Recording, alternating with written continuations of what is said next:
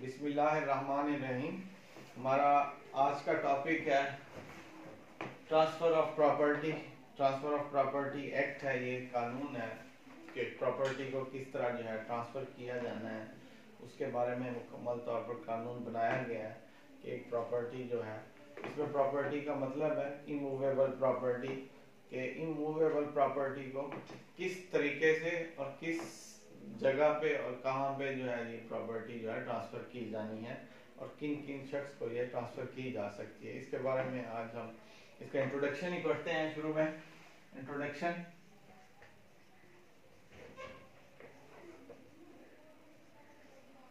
introduction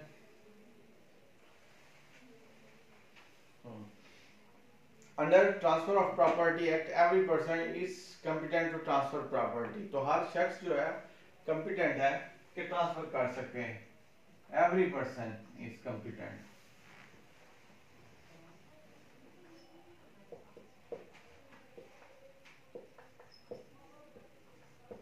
competent to transfer.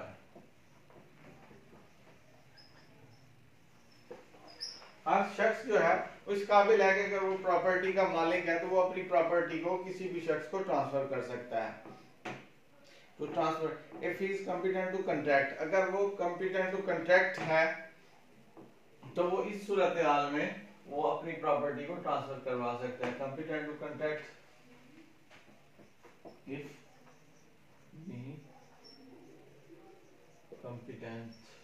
to contract अगर वो कोई भी कंट्रैक्ट करने के लिए कंपिटेंट है तो वो अपनी प्रॉपर्टी को ट्रांसफ़र करने का भी कॉम्पिटेंट है। उसके लिए भी वो काबिल अहलियत रखता है कि वो अपनी प्रॉपर्टी को ट्रांसफ़र करवा सकता है।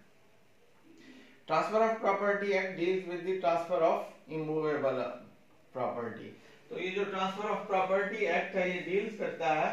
Deals with immovable property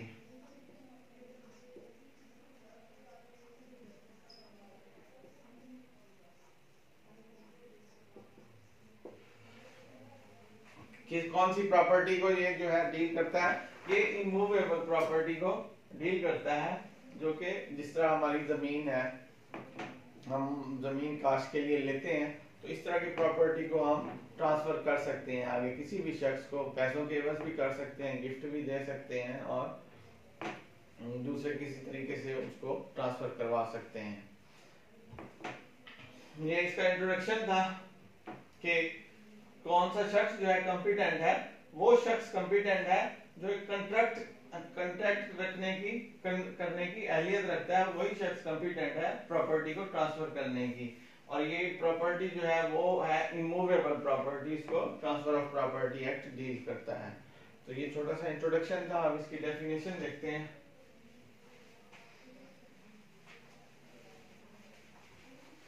definition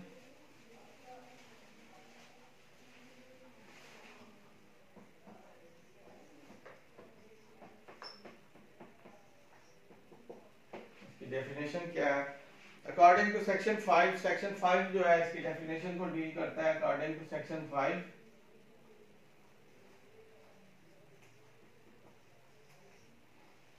according to section five transfer of property means an act इसका मतलब है ट्रांसफ़र ऑफ़ प्रॉपर्टी का मतलब है an act by which a living person convey property जिसमें एक शख्स जो है लिविंग पर्सन जो है, वो अपनी प्रॉपर्टी को कन्वे करता है इन प्रेजेंट और इन फ्यूचर मौके पर ही या मुस्तकबिल में to one or more other living person or to himself or to himself or one or more other living person and to transfer of property is to perform such act तो according to section five transfer of property means an act transfer of property means an act. Transfer of property means an act by which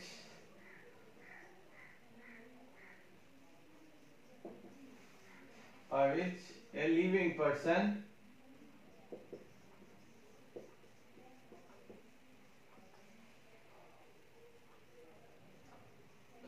convey his property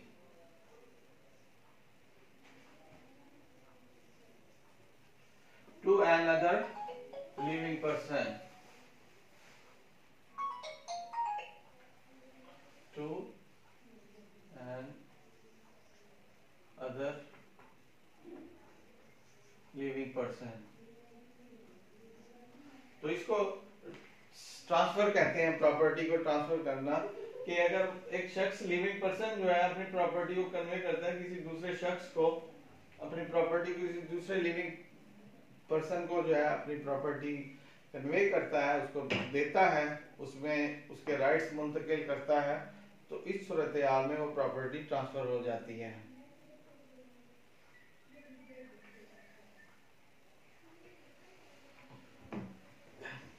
explanation में है living person includes a company association or body of individual whether incorporated or not but nothing here in content shall affect any law for the time being in force relating to transfer of prop property or by companies association or body of individuals तो living person को उन्होंने मजीद explain किया living person का मतलब जो है living persons includes company association or body of individual includes company hmm. company association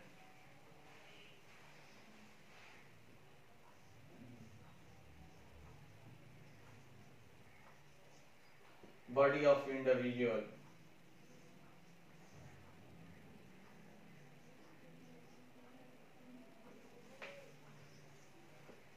तो लिविंग पर्सन में कौन कौन से शख्स शामिल है? उसमें कंपनी भी शामिल है कि कोई कंपनी भी जो है एज अ लिविंग पर्सन के तौर पे तो प्रॉपर्टी अपने अंडर ले सकती है ट्रांसफ़र मतलब कर सकती है अपनी प्रॉपर्टी को।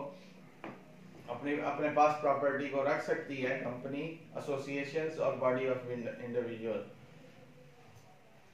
अब इसके एसेंशियल्स ये इसकी डेफिनेशन थी.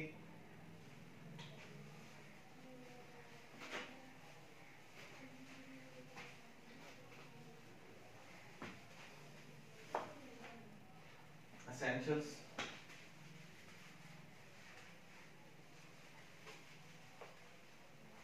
नंबर थ्री पे एसेंशियल्स है ट्रांसफ़र ऑफ़ प्रॉपर्टी के बेसिक कंपोनेंट्स जो बेसिक बुनियादी चीज़ें हैं जो ट्रांसफ़र ऑफ़ प्रॉपर्टी में एक वैलिड ट्रांसफ़र के लिए चीज़ें चाहिए, वो एसेंशियल्स कौन सी हैं, वो हम डिस्कस करते हैं। उसमें नंबर एक पे है। ट्रांसफ़र शुड नंबर एक पे competency of transfer Transferior, competency of transferior. Transferior should be competent to transfer the property. पहला है competency of transferior. Competency of transferior के जो ट्रांसफ़र करने वाला है, वो कॉम्पिटेंट होना चाहिए मेजोरिटी उसकी एज होनी चाहिए मेजर होना चाहिए साउंड माइंड होना चाहिए। और तीसरे नंबर पे है नॉट डिस्कालीफाइड बाय लॉ के कानून ने उसको डिस्कालीफाई ना किया हो कि आपने अपनी प्रॉपर्टी को ट्रांसफ़र नहीं करना। वो किसी भी वजह से जो है कानून उस पर ऊपर बैन कर देता है कि आपने अपनी प्रॉपर्टी को आगे ट्रांसफ़र नहीं करना। तो वो उस, इस तरह का शख्स भी नहीं होना चाहिए उसमें कॉम्पिटेंसी में नहीं आता, उसमें पहले नंबर पर मेजर होना चाहिए। मेजर मतलब 18 इयर्स हो मेजोरिटी एज 21 इयर्स है तो 21 इयर्स का होना चाहिए। मेजर, इसके बाद sound mind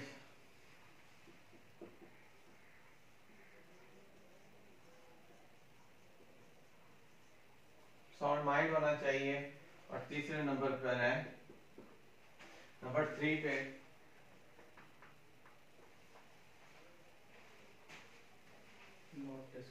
Not disqualified. By law.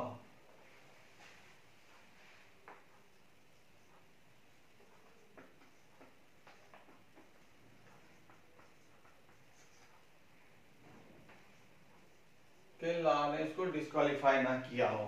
ये एक कॉम्पिटेंसी की जो है एसेंशियल्स में है कॉम्पिटेंसी ऑफ़ ट्रांसफेरियर में। कि वो मेजर हो 18 साल या 21 साल का हो साउंड माइंड हो और नॉट डिस्कालीफाइड बाय लॉ हो। इसके बाद कॉम्पिटेंसी ऑफ़ ट्रांसफेरी जो लेने वाला है, उसकी भी कॉम्पिटेंसी के बारे में बताया गया है ये बेचने वाले का था, जो प्रॉपर्टी को ट्रांसफ़र करने वाला है, इसके आगे जो लेने वाला है, उसकी भी कॉम्पिटेंसी होनी चाहिए। It is necessary that transfer must be made by one living person to another living person अच्छा ये नंबर थ्री पे है। Competency of transferee transferee must be capable of holding property तो इस काबिल होना चाहिए प्रॉपर्टी को होल्ड होल्ड कर सके and must not be a person disqualified by law to receive a transfer तो इसमें भी वो ही शख्स हो जो क्वालिफिकेशन क्वालिफाइड हो प्रॉपर्टी को रिसीव करने का. नॉट डिस्क्वालिफाइड बाय लॉ नहीं होना चाहिए. जो नंबर टू पे है competency of transferee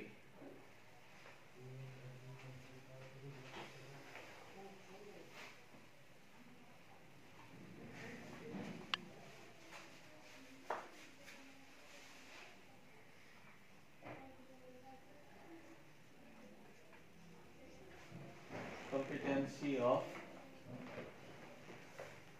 transferee transferee की कॉम्पिटेंसी भी ज़रूरी है इसके एसेंशियल्स में कि वो भी एक कॉम्पिटेंट पर्सन होना चाहिए प्रॉपर्टी को रिसीव करने के लिए। It is necessary that the transferee must be capable of holding property तो इस काबिल होना चाहिए कैपेबल ऑफ़ होल्डिंग प्रॉपर्टी होना चाहिए और must not be person disqualified by law तो डिस्क्वालीफाई बाय लॉ नहीं होना चाहिए। नंबर थ्री पे transfer must be between living person तो नंबर थ्री पे है transfer must be between living person must be between living person ये ज़िंदा लोगों के दरमियान का मुहिदा है। ज़िंदा लोगों के दरमियान का एक एक्ट है कि जो लोग हयात हैं, इस दुनिया में रहते हैं, ये उनके दरमियान का ये किस्म का कन्वे ऑफ़ प्रॉपर्टी है कि एक शख्स जो है, दूसरे शख्स, ज़िंदा शख्स को जो है अपनी प्रॉपर्टी को दे सकता है। नंबर फोर पे एग्जिस्टेंस ऑफ़ प्रॉपर्टी जो नंबर फोर पे है, ये सबसे मोस्ट असेंशियल है।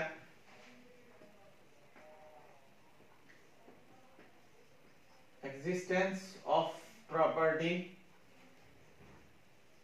प्रॉपर्टी का वजूद होना चाहिए। जायदाद का वजूद होना चाहिए। अदरवाइज़ ये अदालतों में जितने भी केसेस चल रहे हैं, वो इसी बेस पे है कि प्रॉपर्टी दिखाते किसी और की है, बेचते किसी और को। देने वाला कोई और होता है, मालिक कोई और होता है। तो इस तरह के मसले, मसाइल जो हैं, फिर अदालतों में आते हैं, अदालतें ही इस चीज़ का फैसला करती हैं कि प्रॉपर्टी है किस जगह पे, किसकी मलकियत है और इसको किसने ट्रांसफ़र करके दी है। इस चीज़ का अदालत में फैसला करना होता है।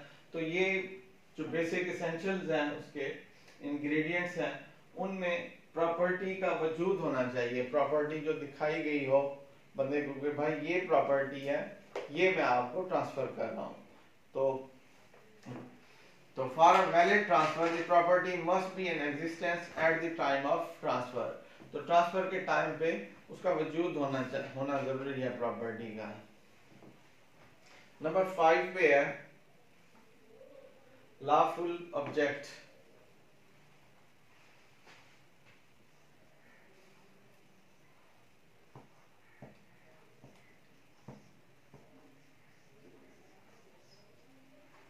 lawful object, the object of transfer of property must be lawful. तो उसको जो ट्रांसफ़र करने का जो बेसिक मकसद होना चाहिए, वो भी कानून के मुताबिक होना चाहिए। कानून से बाहर नहीं जाना चाहिए कि मैं इसको प्रॉपर्टी किस कानून के तहत जो है, किस तरह जो है इसको मैं दे रहा हूँ। ला लाफुल है या अनलाफुल है? तो ये ये इस चीज़ को लाजमी में गौर रखना है कि प्रॉपर्टी किसी को अगर दे रहे हैं तो वो लॉफुल ऑब्जेक्ट के लिए होनी चाहिए। नंबर सिक्स पे है lawful consideration consideration must also be lawful does not recognize a transfer made for an unlawful consideration तो ये अनलॉफुल कंसिडरेशन के लिए नहीं बनाना चाहिए। नंबर सिक्स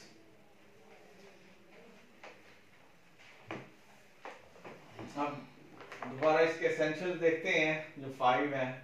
इसमें पहले है कॉम्पिटेंसी ऑफ़ ट्रांसफेरियर ये ट्रांसफेरियर जो है, जो देने वाला है प्रॉपर्टी को, वो कॉम्पिटेंट होना चाहिए, उसकी मेजोरिटी एज हो।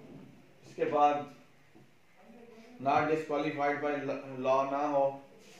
और तीसरे नंबर पर इंसाउंड माइंड हो। इसके बाद कॉम्पिटेंसी ऑफ़ ट्रांसफेरी के उसको प्रॉपर्टी को होल्ड करने के लिए कॉम्पिटेंट हो। प्रॉपर्टी लेने को कॉम्पिटेंसी उसके अंदर हो। और इसके बाद तीसरे नंबर पर है जो ट्रांसफ़र है, must be between living persons तो ट्रांसफ़र जो है, जो देने वाला है, वो भी हयात होना चाहिए, और जो लेने वाला है, वो भी हयात होना चाहिए। इस इस दुनिया में उसका वजूद हो, ज़िंदगी रखता हो। तो तभी एक ट्रांसफ़र का एक्ट जो है वो कंप्लीट होना है। नंबर फोर पे है एग्जिस्टेंस ऑफ़ प्रॉपर्टी प्रॉपर्टी का जो है वजूद होना चाहिए जायदाद का जो है वजूद होना चाहिए कि ये किस जगह पे है। अब बाजू का हम प्रॉपर्टी को जब भी हम लिखते हैं तो उसका हदू दरबा देते हैं। उसका शुमाल, जनूब, मशरक, मगरब जो है वो बताते हैं कि ये प्रॉपर्टी के मशरक, मगरब में ये ये लोगों की मज़ीद प्रॉपर्टियाँ हैं या ये ये मालिकान जो हैं इसके साथ अटैच हैं। तो ये चीज़ें भी मेंशन करते हैं इसीलिए कि प्रॉपर्टी के वजूद का पता चल सके। इसके बाद नंबर सिक्स पे है लाफुल ऑब्जेक्ट के लिए होनी चाहिए। नंबर सेवन है लाफुल कंसिडरेशन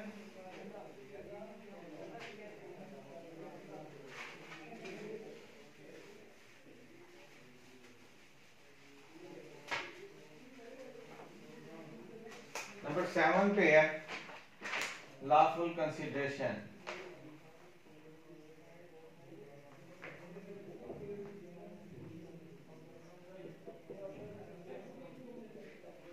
लॉफुल कंसिडरेशन होना चाहिए। इसमें किसी औरत के मुकाबले में ना हो कि प्रॉपर्टी आप दे रहे हैं और औरत ले रहे हैं। इस तरह की जो है कंसिडरेशन वो एक्सेप्टेबल नहीं है वो अदालतों में। कि जी हमने जी ये इस तरह जो है प्रॉपर्टी का सौदा किया। तो लॉफुल कंसिडरेशन का मतलब यही है कि उस प्रॉपर्टी की वैल्यू के हिसाब से उसको प्रॉपर पैसे मिलने चाहिए लाफुली तौर पर जो है, कानूनी तौर पर जो है वो पैसे मिले या कोई ऐसी कीमती चीज़ मिले या उसका मुतबादल प्रॉपर्टी ही बेशक हो, लेकिन वो लाफुल होनी चाहिए अनलाफुल ना हो।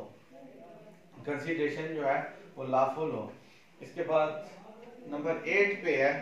प्रॉपर्टी मस्ट बी ट्रांसफरेबल तो इसमें प्रॉपर्टी की जो टाइप्स हैं, उसमें ऐसी प्रॉपर्टी ही ज़ाहिर है ट्रांसफरेबल होनी चाहिए कि जो एक शख्स से दूसरे शख्स को मुंतकिल हो सके। ऐसी प्रॉपर्टी हो।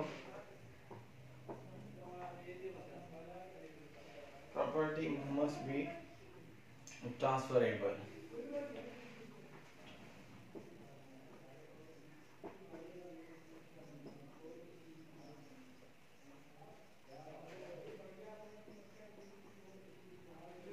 be transferable तो ये under section six transfer of property act के अंडर ये बताया गया है कि प्रॉपर्टी जो है, ये ट्रांसफरेबल होनी चाहिए।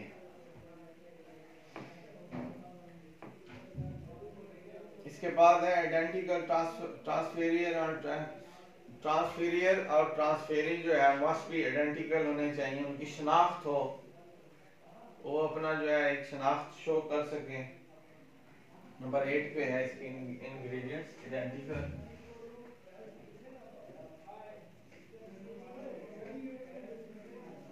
आइडेंटिकल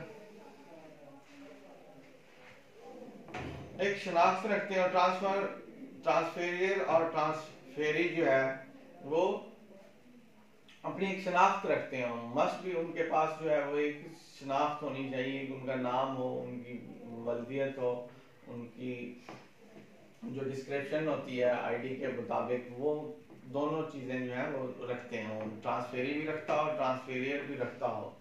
तो ये आइडेंटिकल क्वालिटी भी होनी चाहिए, जो बंदा ले रहा है, जो बंदा दे रहा है। तो इसके बाद है अदर फॉर्मेलिटीज और इमूवेबल प्रॉपर्टी तो लास्ट है। अदर फॉर्मेलिटीज में है कि उसकी अटेस्टेशन होनी चाहिए और रजिस्ट्रेशन होनी चाहिए।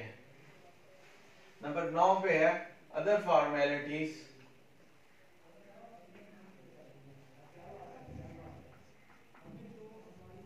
अदर फॉर्मेलिटीज में उसकी एक रजिस्ट्रेशन हो और अटेस्टेशन हो और रजिस्ट्रेशन हो मस्ट बी अटेस्टेड अटेस्टेशन हो और रजिस्ट्रेशन हो उसको रजिस्ट्रार के पास रजिस्टर्ड होना चाहिए।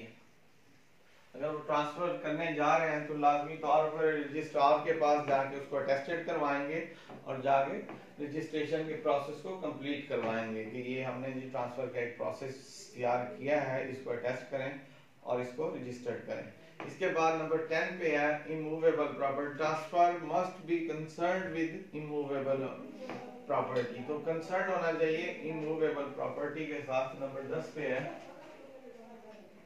concern to immovable property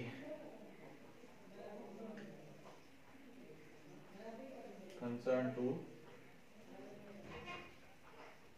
immovable property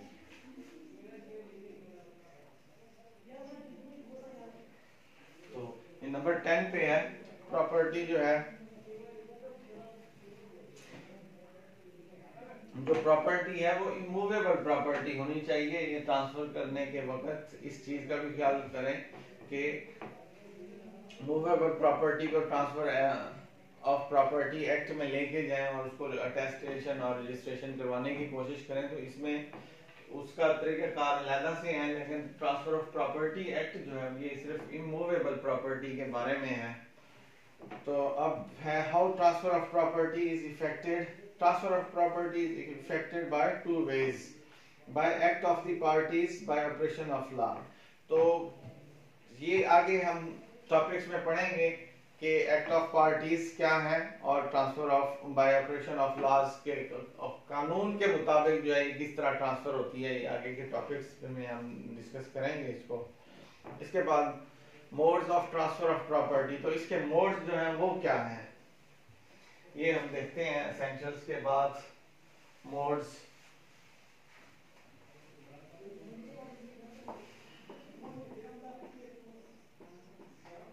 modes क्या है इसके, ये हम देखते हैं।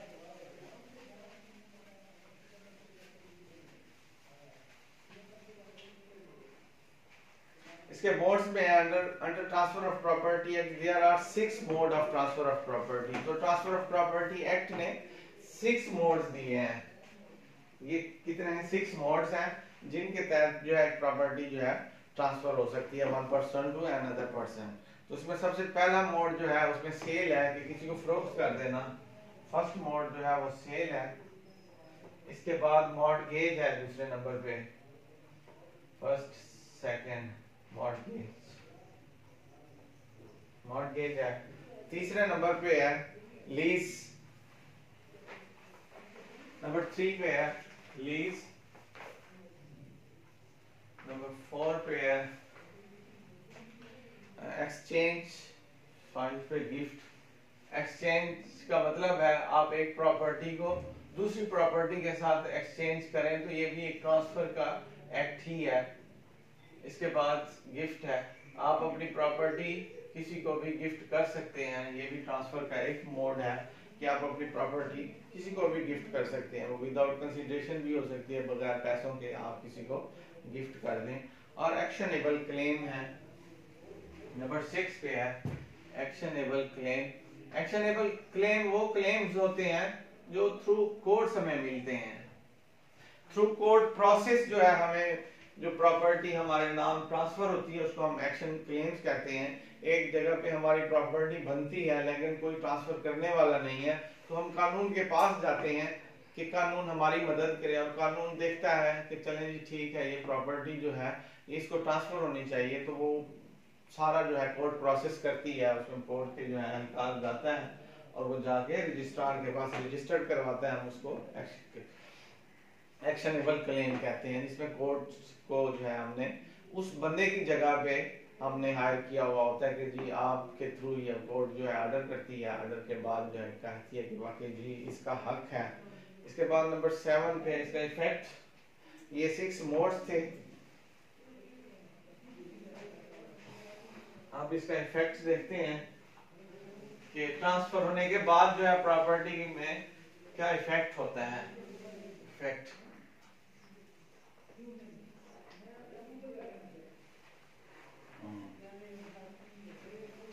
effect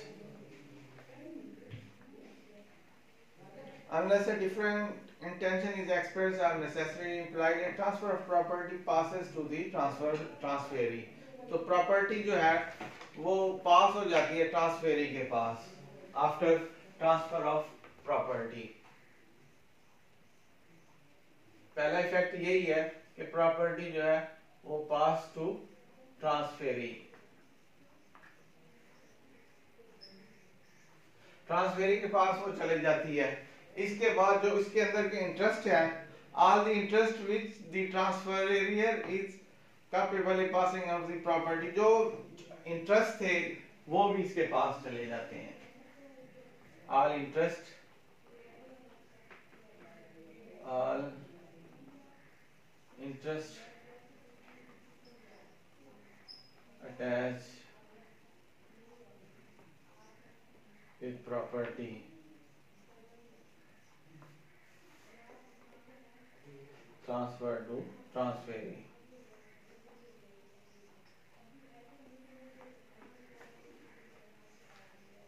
एक तो प्रॉपर्टी उसके पास से ली गई है दूसरा ट्रांसफेरी के पास उसके जो इंटरेस्ट थे, उस प्रॉपर्टी के अंदर जो भी बिल्डिंग थी हॉस्टल था, या वो